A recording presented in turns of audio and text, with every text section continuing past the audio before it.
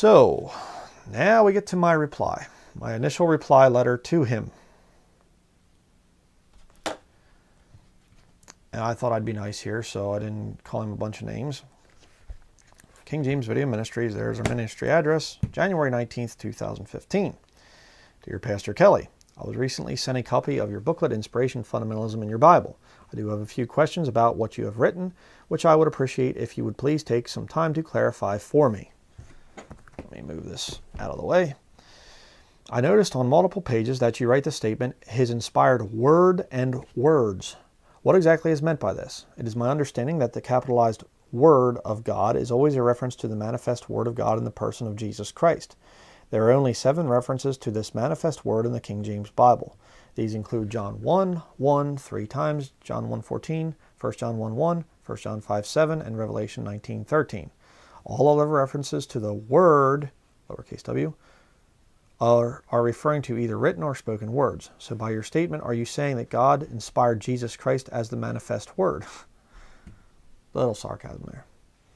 It gets worse uh, as far as my sarcasm. On page two, you state God's word, which we can hold in our hands today, is inspired. Are you saying that we can hold Jesus Christ in our hands? Page two and three have the statement that we might disagree on Bible translations. Then on page three, you even mention the American Standard Version or some other Bible version. By these statements, are you saying that fundamental Bible believing Christians can use different translations and still come to the same belief in inspiration? I also need to point out your written statement on page 3 have the words that God originally gave, and then in the next sentence you refer to God's word is preserved.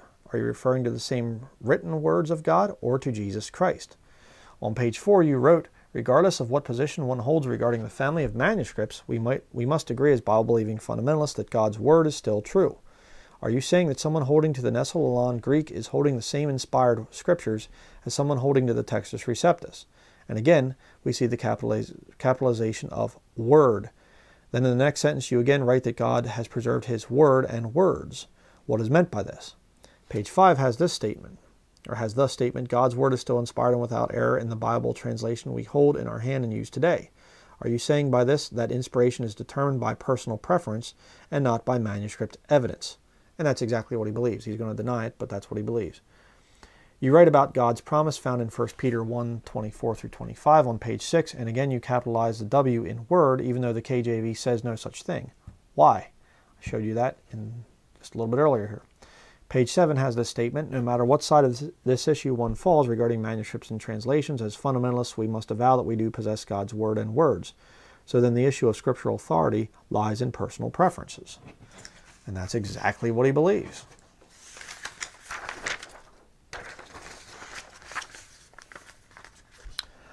On page 13, you wrote 1 Thessalonians 2.13, where both references to the Word of God are both spelled with a lowercase w, but in the paragraph right above the verse, you refer to God's Word with a capital W. Is this intentional deception or ignorance on your part? On page 17 in the final paragraph, you state that we should stop calling fellow fundamentalists heretics and apostates. Again, are you saying that a man who is radically opposed to the King James Bible is not guilty of heresy and apostasy? Then on page 18, you mention Sinaiticus Vaticanus Alexandrian manuscripts and that we should all come to the same conclusion as fundamentalists. How can we when how can we when the Alexandrian manuscripts differ from the Receptus in thousands of places? Again, it appears to me as though your standard for inspiration is personal preference. There are many other issues which I believe are very misleading, but my main issue with your booklet is the confusing use of Word of God and Word of God as somehow being the same thing. In fact, the entire booklet seems to be a clever way of reinventing the Bible version issue to look like you are standing for inspiration of translation while, while taking no stand for any specific translation. How can this standard of personal preference be considered fundamental? Thank you for your time. I look forward to your reply in Christ Jesus. And of course, this isn't the one that I sent so I don't have it signed. Okay, this is just a copy of what I sent.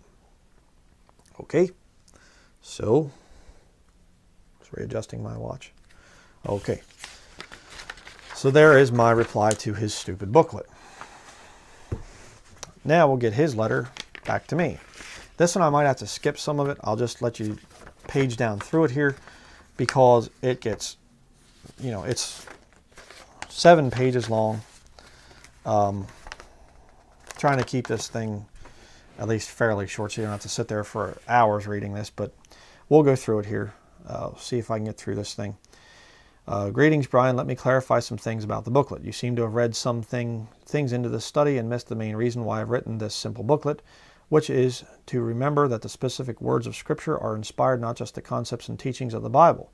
It was also written to silence the myth that only the originals were inspired and that verbal inspiration, that which pertains to words, was not passed on through the manuscripts and to the and into the very Bibles that we have today. This booklet was not written to specifically undermine all the departures of the critical text, but to remind all fundamentalists that historic fundamentalism has always believed in verbal inspiration, the words that the Bible they have used was also verbally inspired, and that to deny this is nothing less than old line liberalism. He just he goes through this letter here and he repeats basically the same junk that he said in there that I already refuted with my letter. The Dean Burgon Oath is a good one. The Bible is none other than the voice of him that sitteth upon the throne. Every book of it, every chapter of it, every verse of it, every word of it, every syllable of it, every letter of it, it is the direct utterance of the Most High.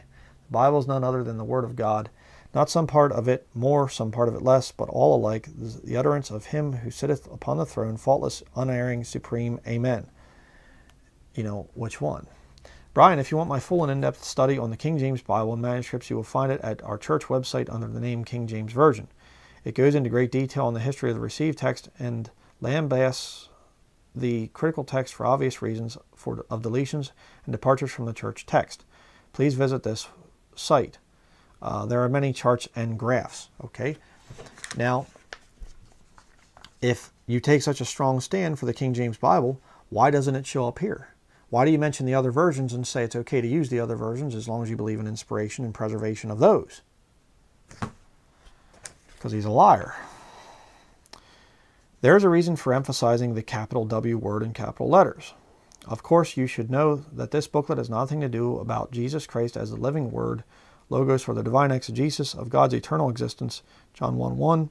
I did not capitalize the word forgetting about the logos of God, Jesus Christ. I did not write this booklet out of ignorance, as you suggested, or to be deceiving in any way. Yes, you did. There's not a hidden conspiracy going on behind every independent fundamental King James Version or Bible church.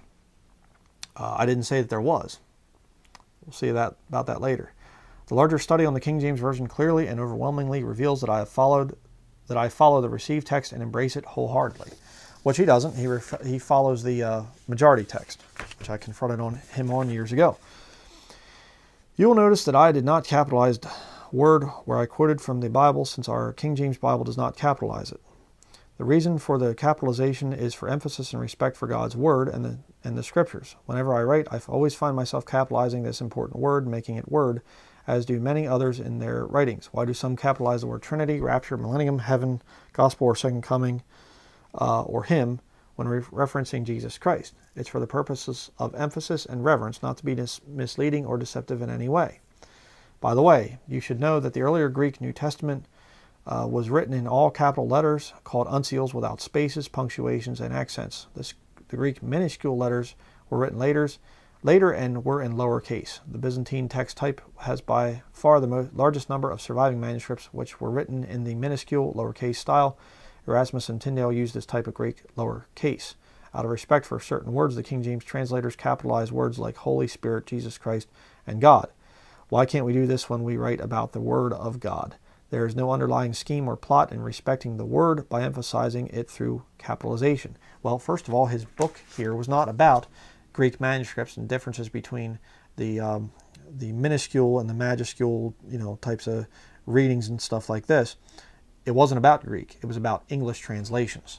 That's why I made a point about it. And I'm going to answer that in my next letter to him.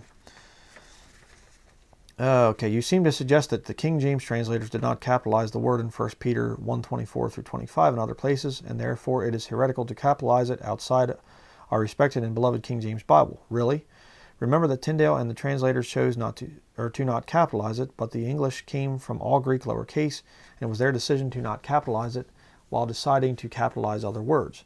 Therefore, it is not a heresy to keep it in a lowercase or capitalize it unless you believe that the Elizabethan English Look at that. Itself is inspired. Capitalizing God's truth, the Word, in our everyday writing is not misleading in any way, and yes, the Word of God and Word of God are one and the same in spite of your dogmatic insistence that they cannot be the same. How could they not be the same? Oh, well, by the standards of the King James Bible. That only gives you seven references to a capital Word of God being Jesus Christ. It's not my dogmatic uh, you know, insistence here. It's the standard of the King James Bible. I mean, if you read through the King James Bible, look at the context. It's obviously the, the references to the capital Word of God are all references to Jesus Christ. They are not references to the written Word. The King James Bible is my standard. That's why I go with that. In, is capitalizing the word in our modern English language while writing a paper a heretical conspiracy and attempt to move away from the King James Bible that we love and cherish? Absolutely not. If this were the case, then the KJV translators committed heresy when capitalizing the word Spirit for the Holy Spirit, the word God for God, and the word Jesus for Jesus. Did William Tyndale commit heresy for not capitalizing the word a reference to Jesus Christ in John 1 1 in his Bible? The KJV translators relied heavily on William Tyndale's Bible, but they chose to make some capitalization changes. That Tyndale did not. The capitalization marks of Tyndale or the King James translators were not inspired, but the words from the received text were inspired.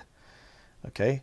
Uh, and again, you have to make, when you do a proper translation, like the King James translators did, you make a difference between, I mean, if, if, if you wrote my name on a letter or whatever, you know, let me just show this, you know, that's what we do in the English language, okay? This is a standard of the English language. You capitalize somebody's name, the first letter. Okay, so when Jesus Christ is referred to as the Word of God, and clearly you can see it in the context, you capitalize the W. That's just good English. If Tyndale did not do that, then he was in error in that point, and it should have been capitalized. That's a standard rule of the English language. That's the issue here. What is meant by distinction between the word, a capitalization of a proper name or subject, a common rule in the English language, you know, I'm, I'm not going to read this because it, it's just, it's getting to the point of just ridiculous here. You can read it there yourself. Uh, I'll just skip down here. Again, the purpose of for writing this booklet is that some are making the claim that inspiration only extends to the autographs, but not to preservation, which would include Bible translations and the words that we find in them today. If this were the case, then we have nothing to stand upon. We would agree that there are some serious deletions and departures from the received majority text. It's not the same thing uh, that is presented in represented in modern Bible versions. However, there are also many similarities. By this I mean that not every word or all the words in other Bible translations disrespects the findings of the received text. Therefore, any person who uses another Bible translation can still believe in the inspiration of their Bible and not be labeled a heretic regarding what they believe about the Bible and great doctrines of the Bible. Of course, this does not mean I agree with their Bibles in every place. Uh oh. See the little scholarly loophole? Say there? I don't agree with them in every place. But in some places, you're going to see later in the last letter that he does agree with them.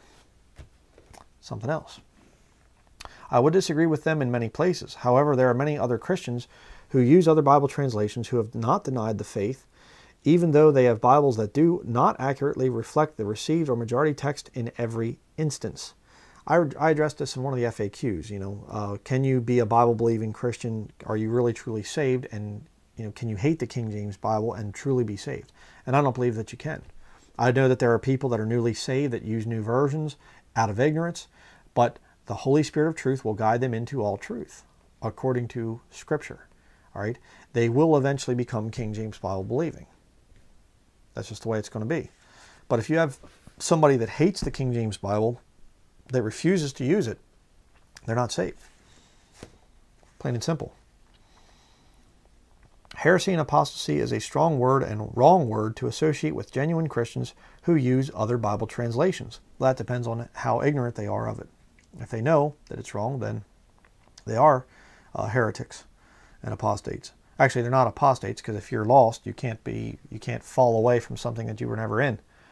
I'm not afraid to use this uh, word, but I don't use it flippantly or ignorantly. Apostasy refers to ultimately disowning Christ in truth, and the Lord's ultimate rejection of those who merely professed Christ temporarily but had no saving relationship with him.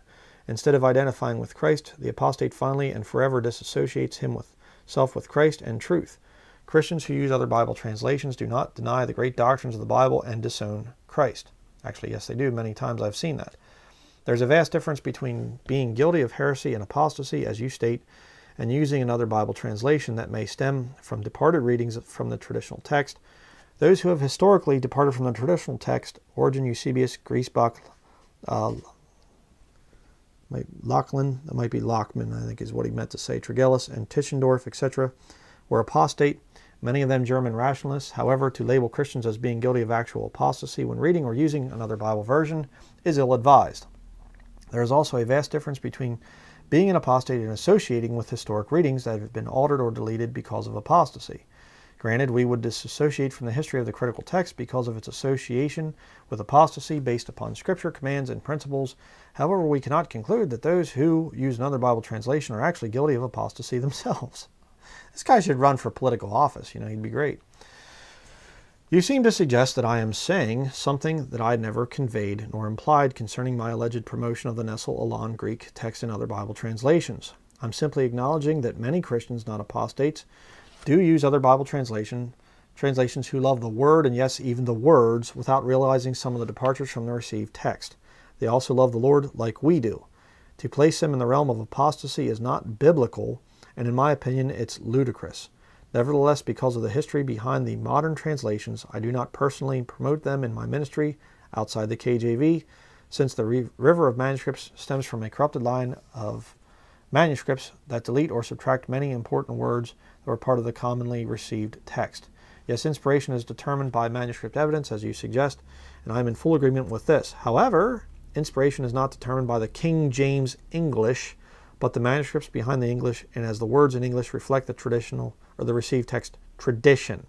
Again, as it's accurately translated. See how they do it?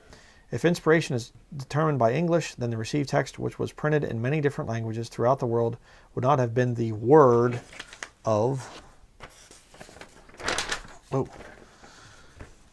word of God or the words that God intended to give to many other people throughout the world. We need to think rationally on this matter. The Bible existed before 1611. People had the scriptures in 1610. Um, should we believe the Word of God existed in the received text in many different languages before 1611? Yes. Did we have any received text Bibles before 1611? Yes. Should we believe that the King James Version English is inspired over the Greek manuscripts? No. Should we believe that nobody can be a fundamentalist holding to the great fundamental doctrines of the Bible, even the doctrines of verbal inspiration and biblical and Bible separation, if they use another version of the Bible?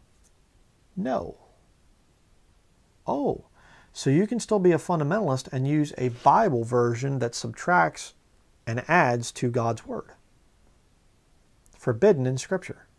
But that's okay. You can still be a fundamentalist. Continuing, historic fundamentalism used the King James Bible and fought the wars against liberalism. The King James Version has been historically associated with fundamentalism, and this is the re- in this reason is reason enough not to change to another version. Of course, there are many other reasons not to change from the KJV to other versions. However, see see this flip flopping. You come up to the truth and then you go back you back away from the truth, and you come up to the truth and you back away from the truth. Not the Holy Spirit that does that, brethren. However, not everyone is an apostate, someone who has denied Christ in, or had denied Christ in the faith who uses another Bible translation. I might disagree with them on the matter of using another Bible translation and even their indirect association with apostasy through the historic inception of corruptions brought into the Greek text that depart from historic readings, but I'm not about to label them as an apostate. Again, it depends on their attitude. Do they knowingly attack the King James Bible? Are they knowingly using the new versions, understanding that they come from the corrupted source? While the King James Version was not directly given by the inspiration of God as the autograph 2 Timothy 3:16, it is an accurate translation and reflection of what was given by the inspiration of God through God's superintendence and providence. The King James Bible is an accurate translation of the preserved text in relation to its words, whereas other versions clearly depart from the received text in many places. Therefore, it is a superior translation because of the manuscript evidence behind it and the words found in it. Superior translation, but not perfect, you know. Again, you seem to be reading into this study by claiming that I take no stand against the other Bible translations. My purpose for this study was not to delve into all the issues related to the King James Version versus other Bible translations, but to remind all fundamentalists of their doctrinal heritage of supporting verbal inspiration, even though we might disagree with manuscripts. We take the position that God's Word was preserved in a majority received text manuscript tra- tradition, which is va- really the vast number of manuscripts, whereas others will take the minority of manuscript evidence position, even though they call it the multiplicity of manuscripts by tacking. Yep. By tacking on two other manuscripts, Vaticanus and Alexandrian, and following these readings over the majority of evidence. David Cloud, who was a staunch KJV man, uh huh, right, as you know, correctly observes we also acknowledge the happy fact that there is a general overall doctrinal agreement between the textual families. This shows us two things. First, we can rejoice that God has overruled the wicked plan of men and devils and has maintained essential doctrine even in the most corrupted texts. So, as long as the essentials are there, let's not fight over the words. What God says, you know, gives serious warnings about adding to or subtracting even one word, well, that doesn't matter as long as the essentials are left there. You know, we'll come, you come home from work one day and your door's hanging open and you walk in and you realize that you've been robbed. And you look and your family photo album is gone and your money is gone that you had there and, and your wife's jewelry is gone and bunch of other things. And you call the police and the police get there and they walk through the house and they look around and they say, well, I don't see a problem. What are you talking about? I was robbed. Yeah, but you still got the essentials. I mean, you got your stove, you got your toilet, you got electric lights, you know, you got your carpet. Hey, the essentials are here. What's the big deal? You say, well, that'd be insane. That'd be crazy. Oh, just about as insane as somebody saying, you know, as long as the essentials are still there in the new versions, it doesn't matter that they take out words and pervert scriptures and things, vital doctrine in the King James Bible, as long as the essential doctrines are there. David Cloud, staunch King James Version man. Yeah. Staunch apostate. Ridiculous. Continuing. Second, this does not mean that the differences between the texts are insignificant and harmless. It does not mean that doctrine is unaffected. It also does not mean that it, it is not important to find and use the pure text. A swordsman of old did not think a dull sword and a sharp sword, or a weak sword and a strong sword were the same. You can show someone the gospel of the grace of Christ even with a Roman Catholic version. You can prove the deity of Christ even with the perverted New World Translation used by the Jehovah's Witnesses. You can teach the doctrine of the atonement even from a perversion such as today's as the today's English Bible, which deletes the word blood in most major passages. This shows the marvelous hand of God to confound the efforts of the devil, but not for a moment does this mean that the changes made in these and other new translations are not significant. This is political correctness. This is all this thing is. Wishy washy, Laodicean, neither hot nor cold. Just, you know, it's, you know, the new versions are wrong, but they're not really wrong. I mean, they, they take out words, but taking out the words is not as bad as not taking out words because taking out words of, of taking words out of taking words is not really taking the words out. You know what I mean? You know, yeah. Insanity. Let's continue. Any position that denies that there is no inspiration in other Bible translations is misleading. Oh, inspiration in other Bible translations.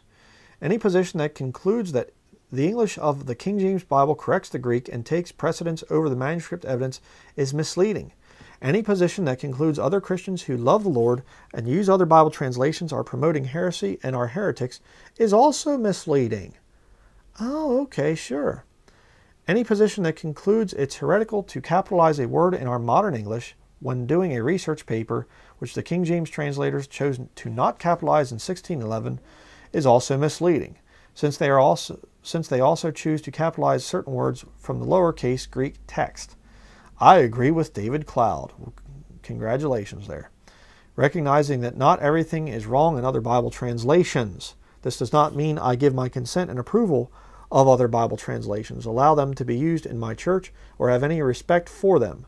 I respect the King James Bible for its accuracy, its received text base, and, and out of respect for God's preserved word, I do not use other Bible translations.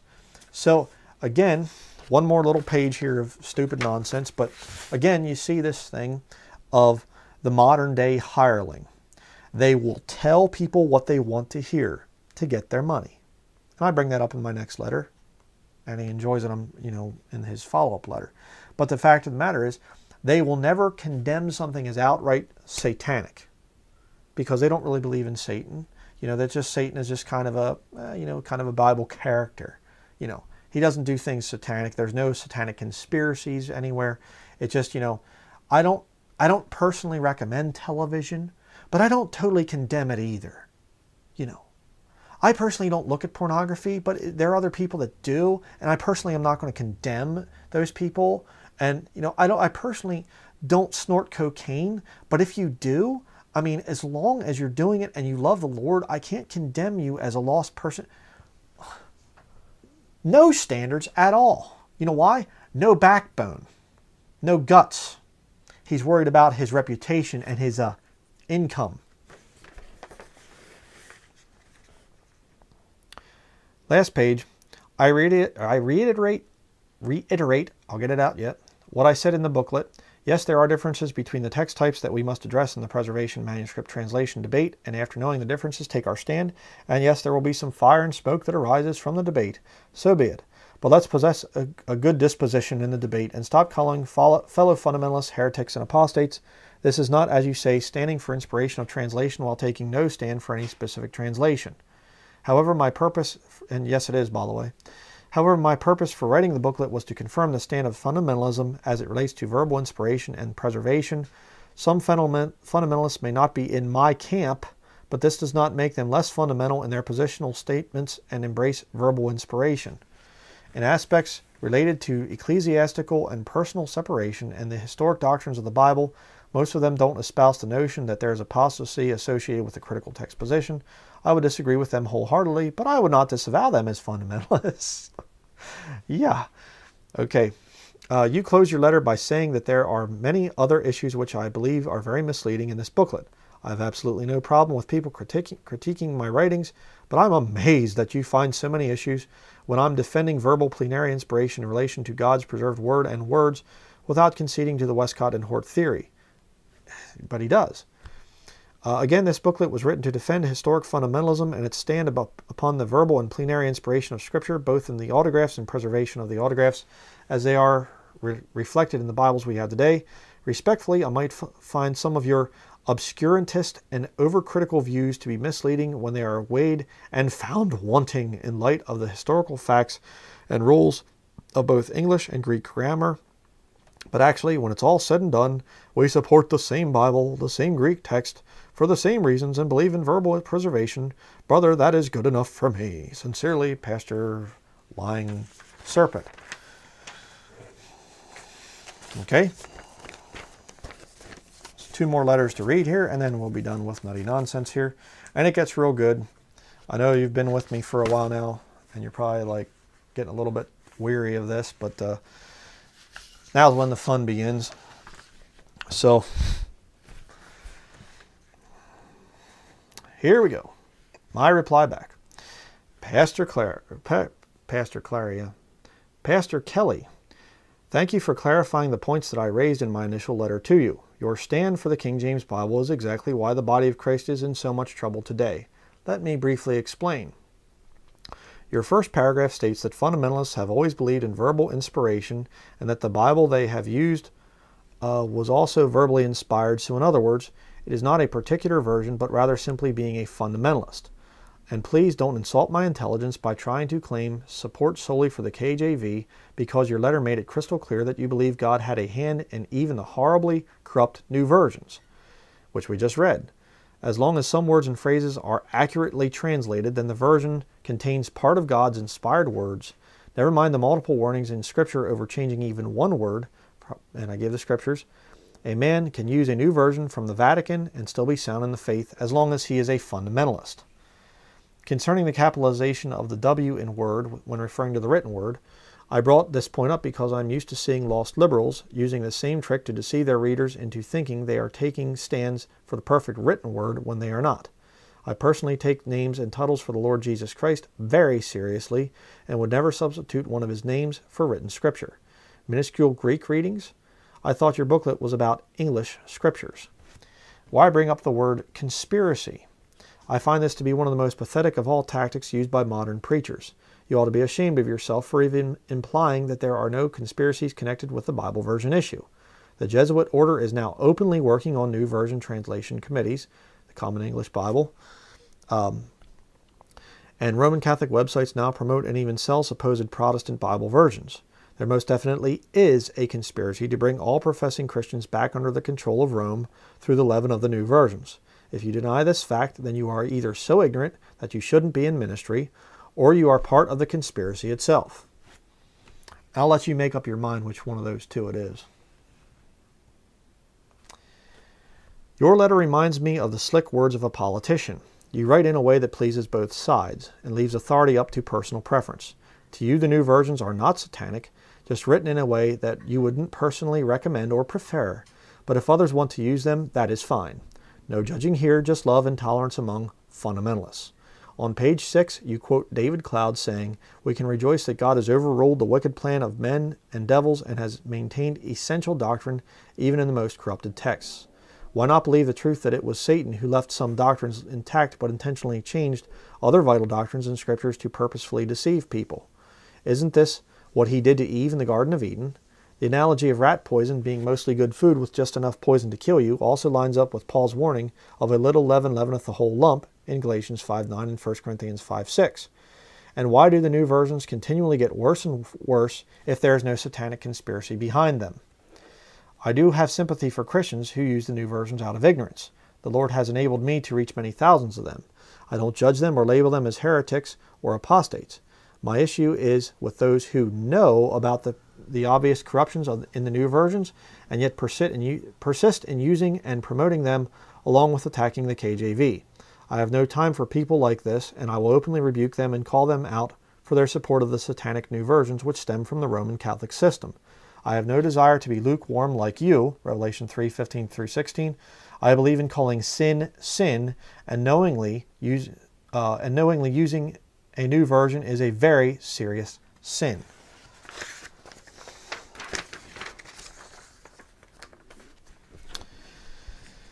Continuing.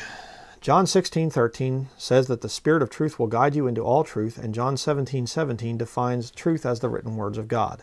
I believe it is impossible for a truly saved man or woman to hate and despise the King James Bible. And yet this is exactly what I see from many leading fundamentalist new version promoters like James White. But I guess I shouldn't judge him for despising and mocking the KJV as long as he holds to the fundamentals.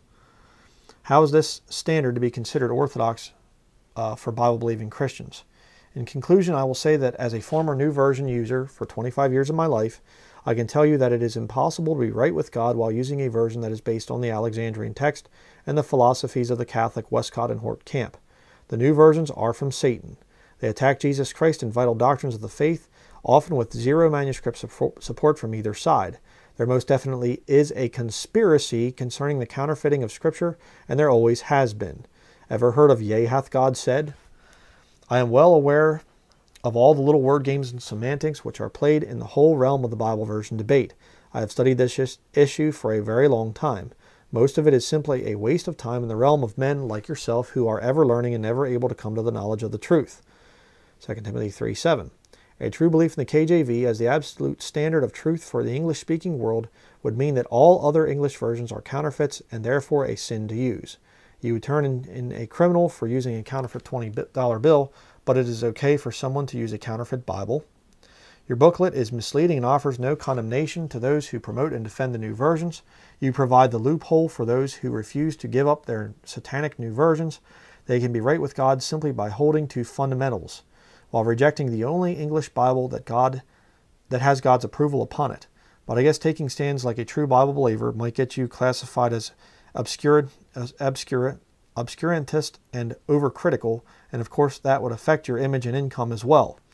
I am sure it would be a nightmare for you to be classified as a Ruckmanite and ostracized by your academic peers for standing too strongly for the KJV. Then I quote Mark 8:38, in Christ Jesus. Again, I didn't sign my name because this is just a copy. And now, the final correspondence written back 25th of April 2015. Okay. Again, seven pages here, front and back.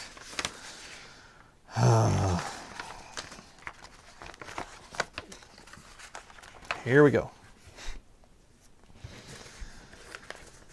All right. Greetings, Bryan. Sorry spelled your name wrong last letter. Just a few thoughts from your recent letter that you sent. I suppose there is really no reason to keep responding back and forth at this point.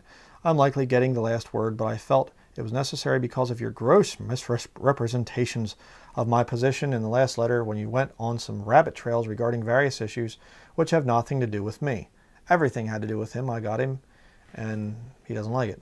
You probably did not read my study on the KJV, which can be found on the church website, and you did and if you did, you obviously were wearing a blindfold. I hotly debate and contest the modern versions, tracing their origin and corruptions, and ex explicitly declare where they are corrupt. I've taken time with people to teach the errors of these corrupt Bibles for over 30 years of my preaching and teaching ministry. Okay? And, you know, I know about his stands. But then why, if you take such quote unquote strong stands for the King James Bible, why write a new or little tract thing, a little booklet here that says it doesn't matter what Bible version you use? See the double standard. Now watch what he does here. Watch this little insult at me. You know, this is the thing that a lot of these self-righteous hirelings will do. They are high and mighty. They have never sinned. They've never done anything wrong. They're not little wicked sinners like, you know, I once was before I got saved. And I'm still a sinner saved by grace. That's the difference now. But, you know, uh, they're just so holy. They just kind of levitate above the ground as they walk, you know. They'd never be a dirty old sinner like I was. Now look at this. I'm thankful I was not deceived by the other versions for 25 years, like I was, you know. I'm not chiding you for sharing this with me, but just making a point. yes, you are, you stinging liar. I saw the light long before you ever did, and my track record cannot be overturned by your superficial and unwarranted statements. To conclude that I don't support the KJV above the other versions is insulting to say the least. Not that I hold any grudge against you for saying it, just expressing my thoughts. Again, political doublespeak. The KJV is more than just a preference for me, as you intimate in your letter. I support it for the accuracy of its preserved words. Remember this, okay? Remember what he just said right there. I support it for the accuracy of its preserved words. Remember that, because it, later on in this very letter, he denies the King James Bible's perfection. He says it should be translated better. Your conclusions regarding my alleged weak position on the KJV are enormously misleading. I'm amazed at your glaring inconsistencies to accept facts that I presented in the last letter. These are not facts designed to lead people away from the KJV, but to be honest with the historic received text that God has preserved, which the KJV was built upon, and mostly all Bibles that preceded it, even those in 1610. Oh, you mean like the Jesuit, you know, Douay-Rheims? Oh, he would never refer to a thing like that. Thou shalt not bear false witness, Romans 13, 9, which as you know is missing from the modern versions. You have borne false witness in many ways in your last letter with all of your ranting and raving and failure to deal with facts. okay, I dealt with all the facts. Thank you very much. False witness number one. Your claim that my letter made it crystal clear that I believe God had a hand in the corrupt Bible versions. Where did I say this or even imply this? Yes, there is received text tradition in the modern versions. Fact. But I never said that I support the modern versions because of this. The deletions and departures from the historic received text are enormous, and out of a deep reverence and respect for the, God's eternal word and words, I don't encourage or even imply that others can use other versions. Yes, he does. Yes, he does.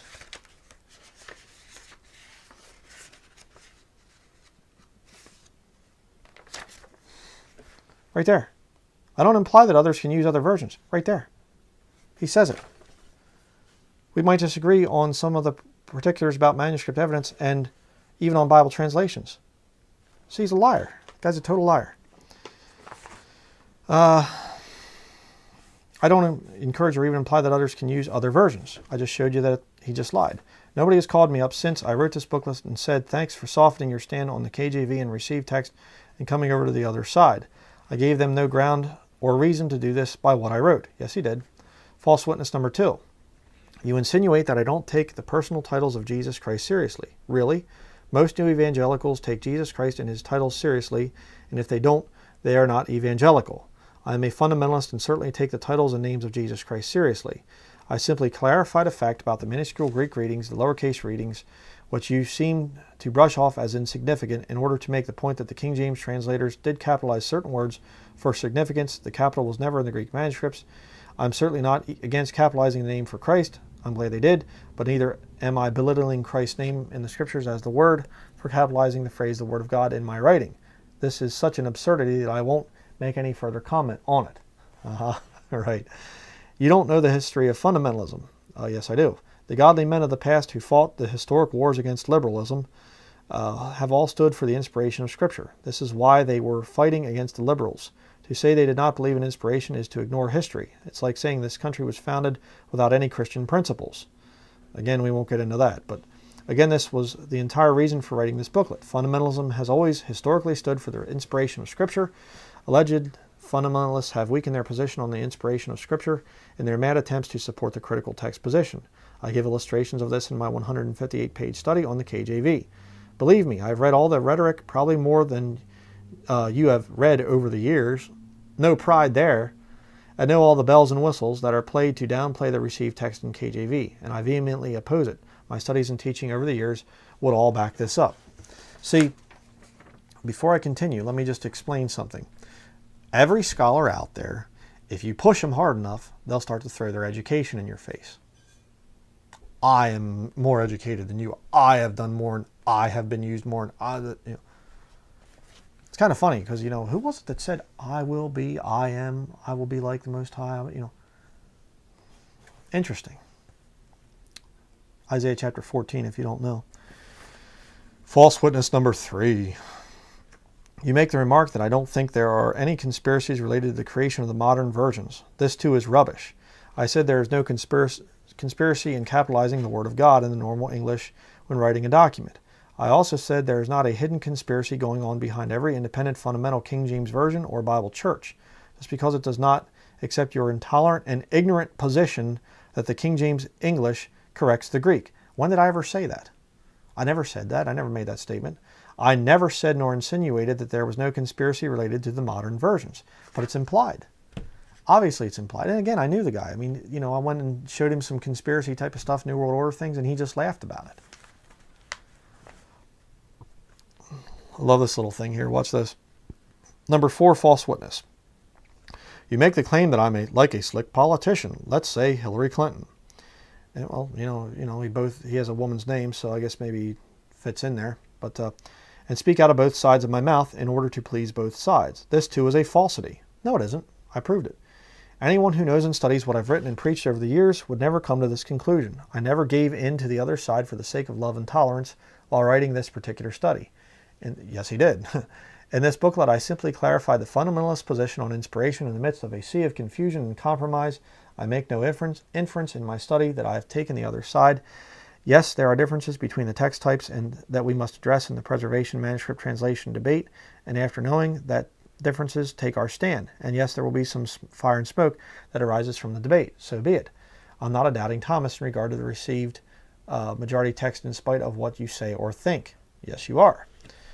False witness number five. You insinuate that I am part of the crowd that know about the obvious corruption in, corruptions in the new versions, but do not openly expose those errors and send warning to others about them. Therefore, I am lukewarm.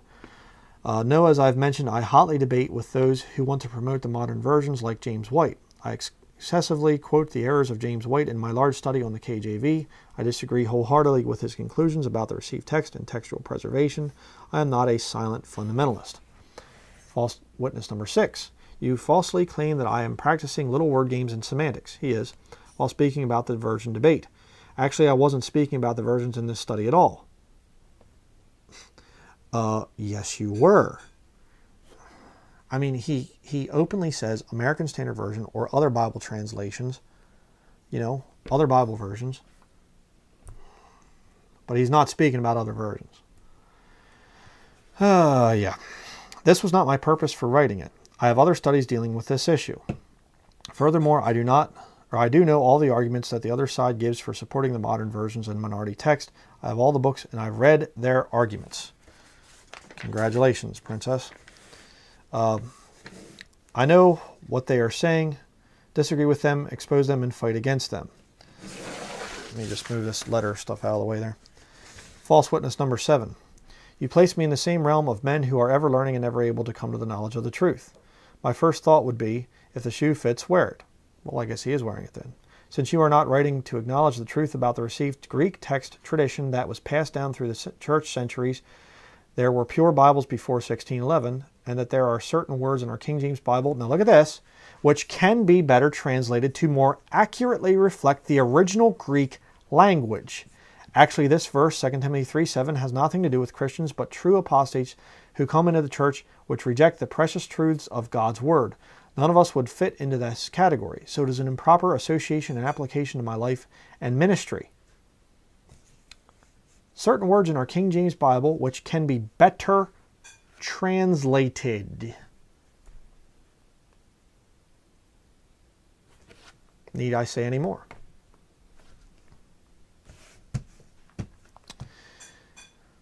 I have been very open to critique and have learned from very godly and learned men down through the years, implying that I'm not. But I'm amazed that you could call me ignorant without seeing the plank in your own eye, by failing to recognize the received text tradition which was passed down to us in the tra translation of the KJV. No, I'm not ignorant about the history of the received text or the perversions in the modern versions. However, I might come to this conclusion regarding your position, but if any man be ignorant, let him be ignorant. So I'm ignorant. You know. Yes, I believe God's Word is in English, as your website says. The King James Version is God's perfect Word in English. However, you cannot have perfect English without a perfect Greek text that is reflected in the English. This is why there is need to sometimes correct or even update an English word. Show to show. While preaching and teaching as you expound and explain the Bible to people, this is not the same thing as casting doubt on historic readings, texts, and phrases in the Bible or correcting uh, what the Bible says, but occasionally clarifying certain words which stem from the Greek text. Oh, yes, of course. Now look at this. Here we go. Now remember, he holds to the King James Bible, and the King James Bible is God's inspired word. Now watch what he does. For instance, devils is literally translated demons. Not true. Since there is only one devil, there this is a more accurate translation. No, it's not the Greek word there, demon or daimonion or something like this, it you know it's not an accurate translation. It's a transliteration to bring the thing from Greek demon into English demon. It's not an accurate translation. Devils is far more accurate. It's a much better translation. Okay. The word conversation, an older English word, means much more than just talking. It speaks of the whole manner of one's life. Now look at this one. The word Easter, Acts 12:4, means Passover. Oh, you miserable liar, you. The word atonement can be better understood as reconciliation. Atonement was an Old Testament concept connected with animal sacrifice. No duh. And the word whales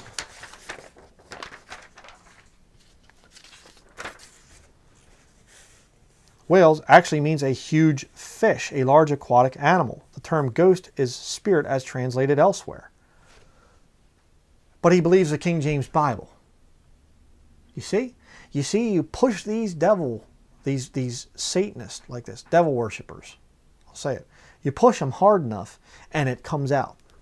The truth comes out. He doesn't believe this King James Bible for one minute. Not one minute. He earns his living from it. He is a hireling.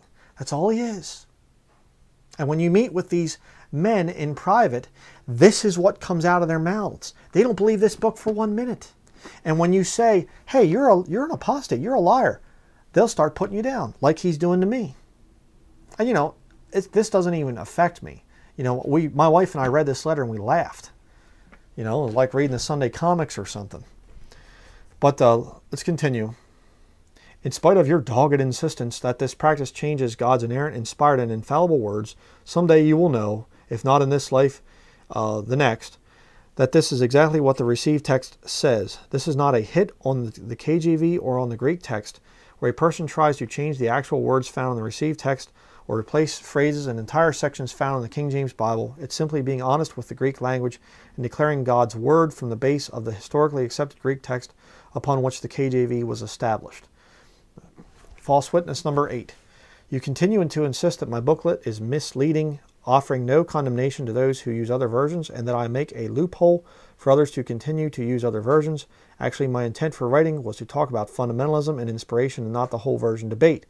I could listen to a lot of your message on the internet or things that you might have written and come to the same false conclusion about you. Doubt it. This is because there are times we speak and write to drive home a certain point without becoming sidetracked by too many other teachings or issues. We want to keep the main point the main point. So your comment is once again weighed and found wanting. Oh boy. I'm just I'm awed to be in the presence of such intellect. I mean, this guy is just so far above me. I mean, yeah. False witness number nine.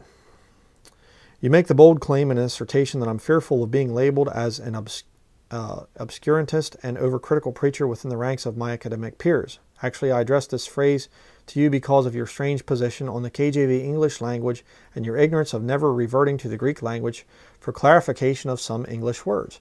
Why do I need to do that? I have a perfect English translation. Why do I need to go waste time with Greek?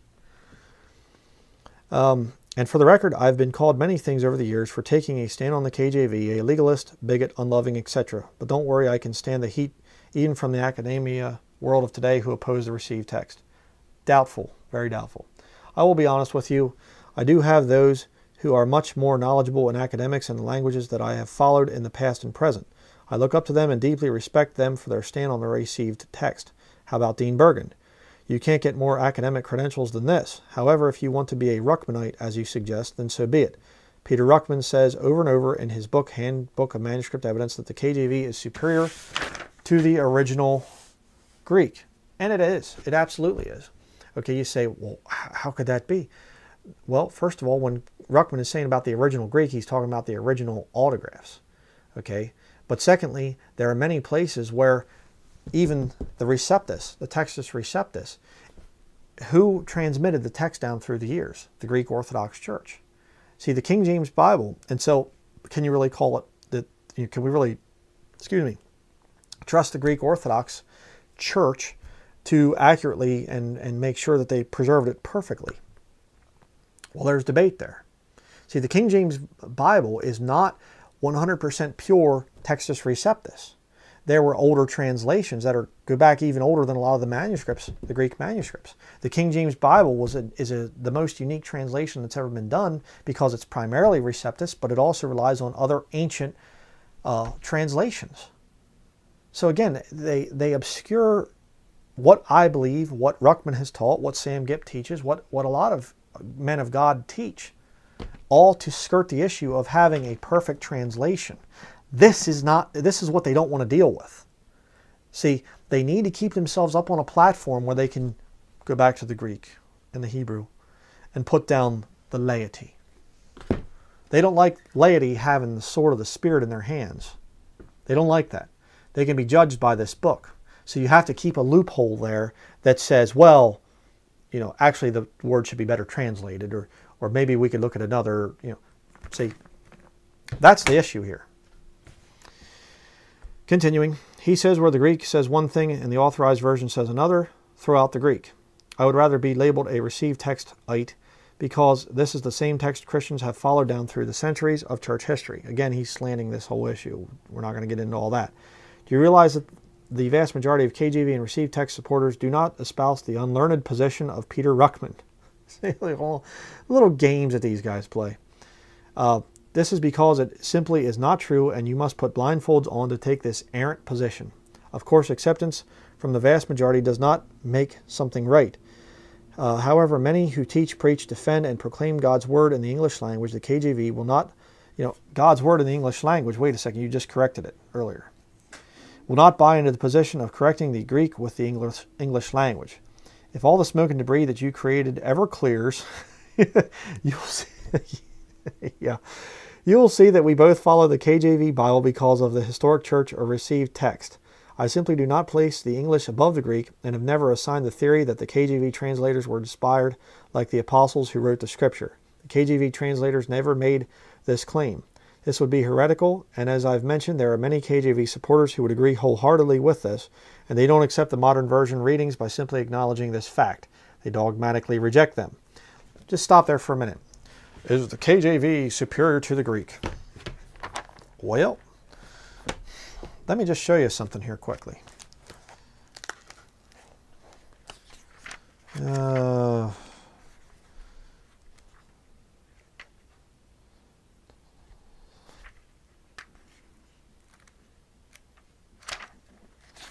see if I can figure this stupid thing out.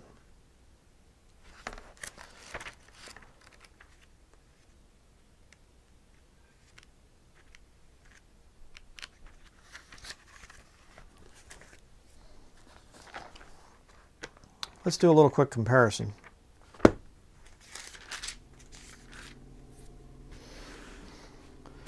All right.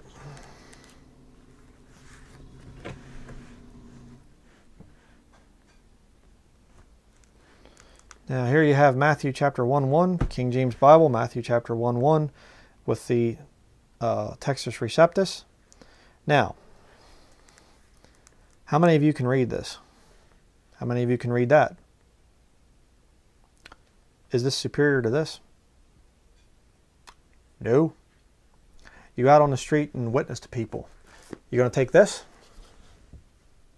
Let me show you how to be saved, friend. Let me just show you here the promises of Scripture. Let me show you that. Look at that. Isn't that beautiful what the Lord's written to you there? You know what this is? This is worthless to a modern Christian today. This book here is priceless. Why on earth are you going to waste your time over here?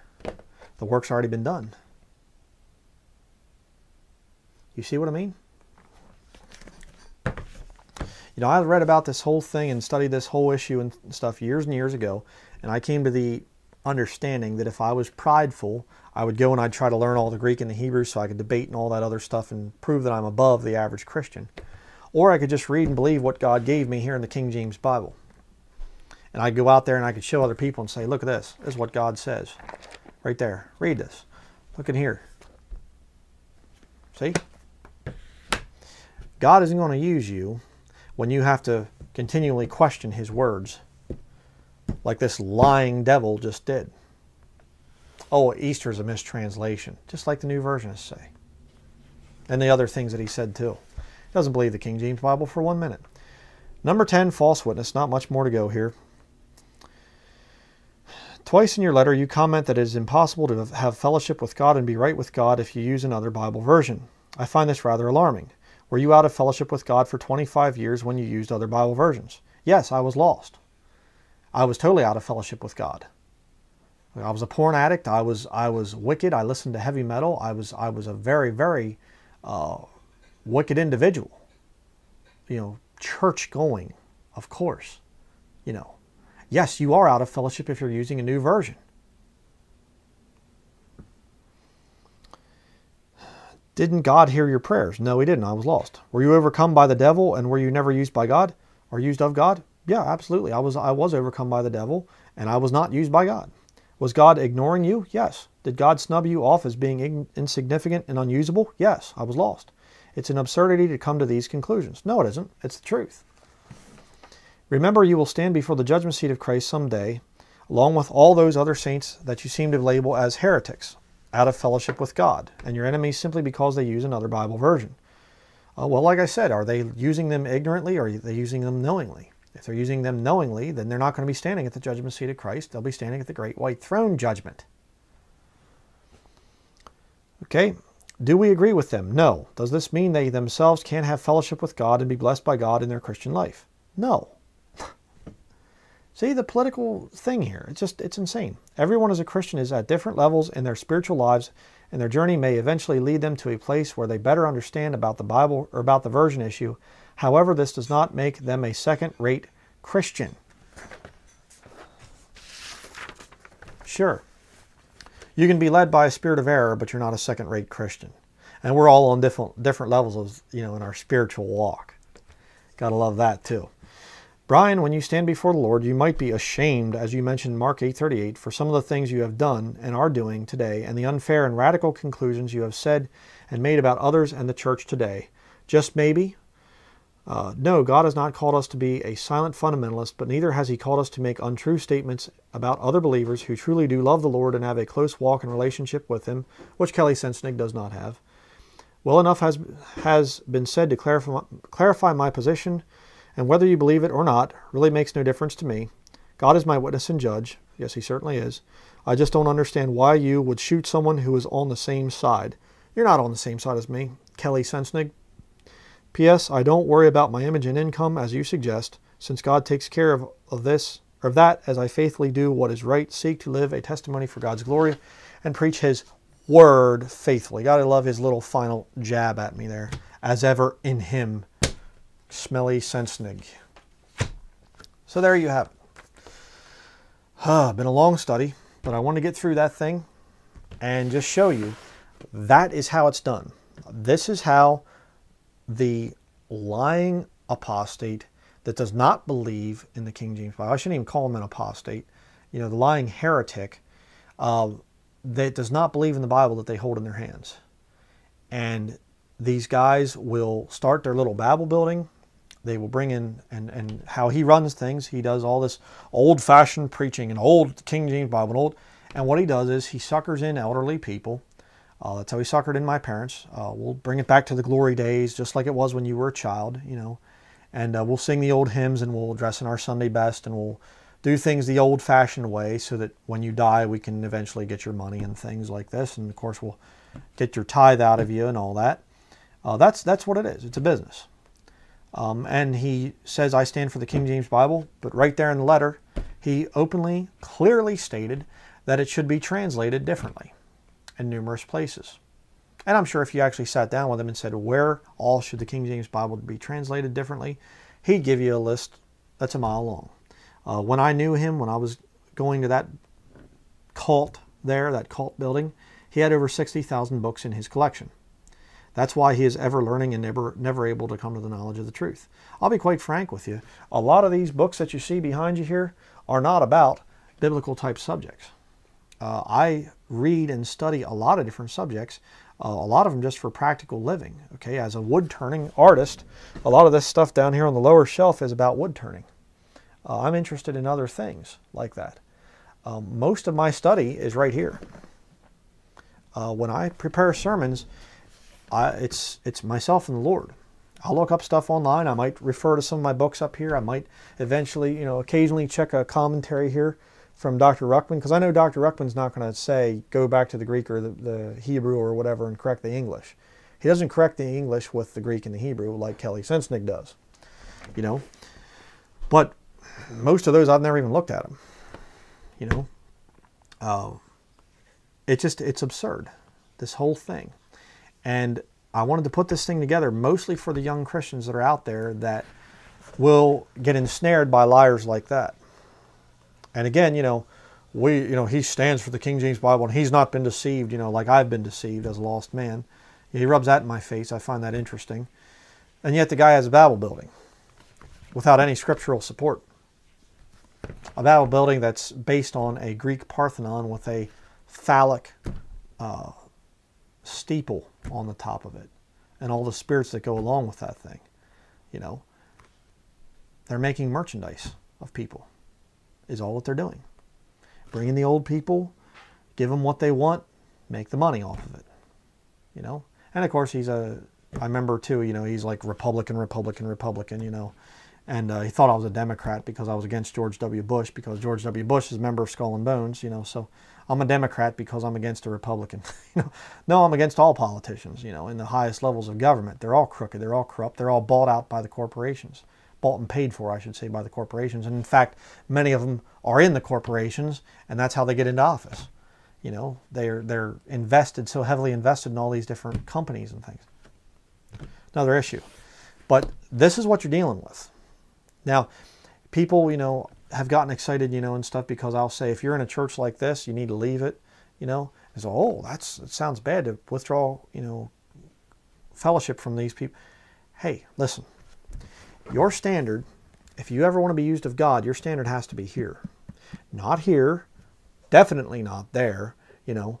Your standard has to be the Word of God. You have to make up your mind. You say, well, Bryan, I don't believe the King James Bible is perfect. Okay, then don't be a hypocrite. Go out, take your Textus Receptus and your Hebrew Masoretic text, and you go out and you preach to people, preach to the lost out of this book. Get on YouTube, get on the internet, do some kind of a ministry out there, and you preach word for word from here. The perfect, inspired, inerrant, original autograph, whatever's. Do that. Don't be a hypocrite. Don't stand up there and use a Bible and call it inspired when you don't believe it. That is my main point that I try to get through to people. I call this God's Word because I believe it's perfect. And you will never once see me say, it should be better translated as. It's not going to happen. That to me is blasphemy. Saying it's God's Word, but it should be corrected. So that will be it for this study. Uh, very detailed. Got into a lot of things here and, you know, a uh, lot to say. But that's the kind of stuff that you're going to run into. Um, be very careful about people that profess to be King James only. Be very careful about that. So that's going to be it. Uh, I'm going to be getting into some more Bible studies in the future here. Uh, a lot of very interesting subjects we're going to be coming out with. Um, and I'm going to be using the King James Bible. I'm not going to mess around with Greek. So that will be it. Thank you very much for watching.